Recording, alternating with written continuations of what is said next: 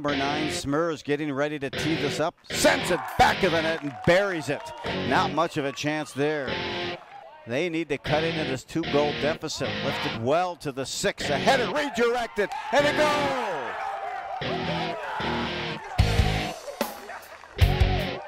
Corner kick coming this way. This will be Carson Smurs. Sophomore approaches. Sets it high to the six. Header going up high. Another redirect and a goal to tie it up. Two consecutive headers.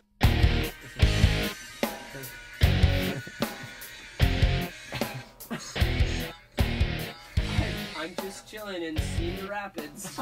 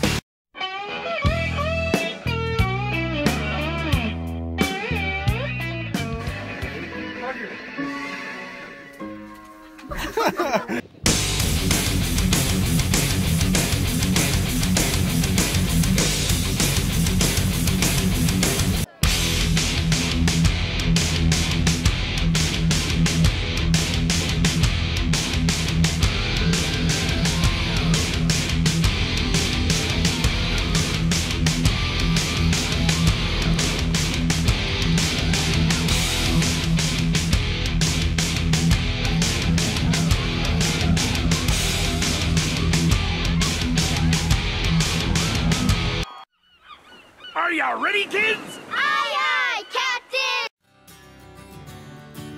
It's something unpredictable, but in the end is right. I hope you had the time of your life.